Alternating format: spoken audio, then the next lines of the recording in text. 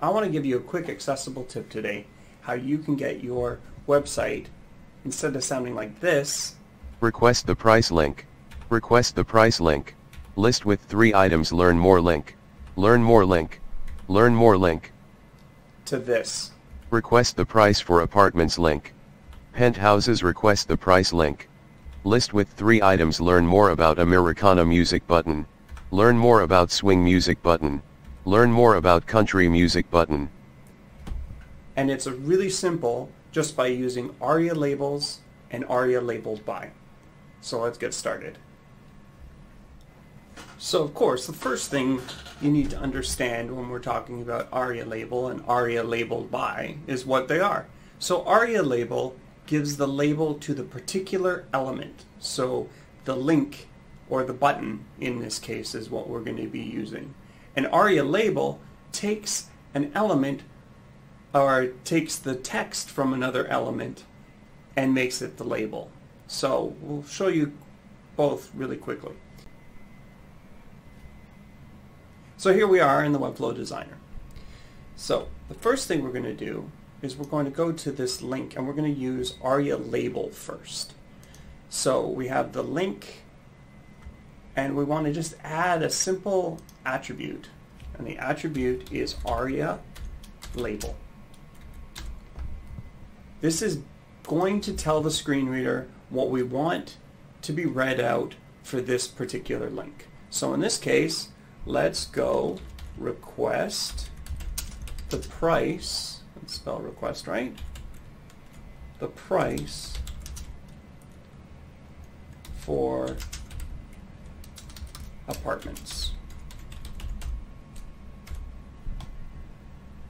So now the screen reader will read that out when we want, uh, when it goes through. It now has an ARIA label that instead of just request the price, it's actually going to say request the price of apartments. The next one is the ARIA labeled by. Now for this, we use IDs. So in the same uh, section here in the settings, we're going to give this particular H2 an ID and we're going to give it offer heading.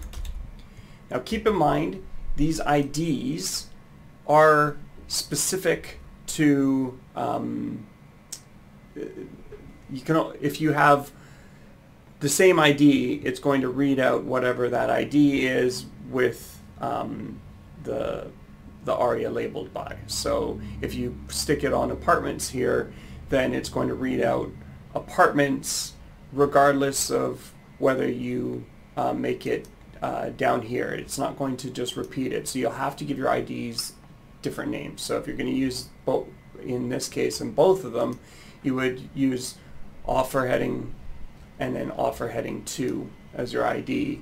And then in the link wrapper here, now what we're going to do is we, we want the request the price to be the same. So anything you want the same, we only need to give it uh, one ID. And so we're actually going to take it from here and we're going to call this ID price request. It says it's already taken because further down the page it already is. So we're actually going to relabel this one offer heading 2 because I don't want it to interfere with the stuff at the bottom. So in this case, we have this is offer heading 2 and as we said before, we have this ID price request. So what we're going to do is we're going to create the ARIA labeled by for this. So we add ARIA labeled by and we want offer heading hmm, offer heading 2 and then we leave a space and we go price request. Because that's the, the ID of the other element we want to grab which is the text in here. So what this is actually going to read for the ARIA label is it'll read penthouses request the price lastly, we're going to go into some dynamic content.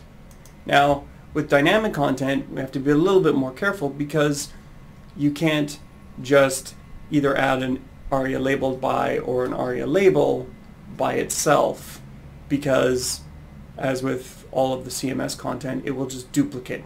So um, it, it won't work the same. It will basically take the thing out off of the first um, whatever item you have and put that information there. So what we need to do is we need to just do a little bit of HTML in an embed.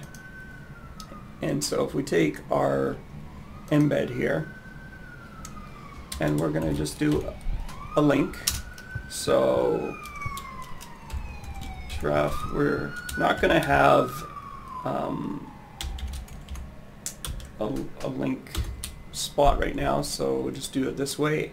Ahref, we're going to give it a class because we already have classes for this, and we have a class that is link wrapper and another class that is text weight bold.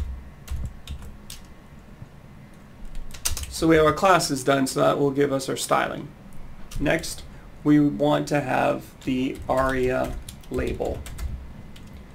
Now, with this ARIA label, we can write in something and then add our dynamic content. So for, in this instance, it is learn more about, and then we're going to take our dynamic name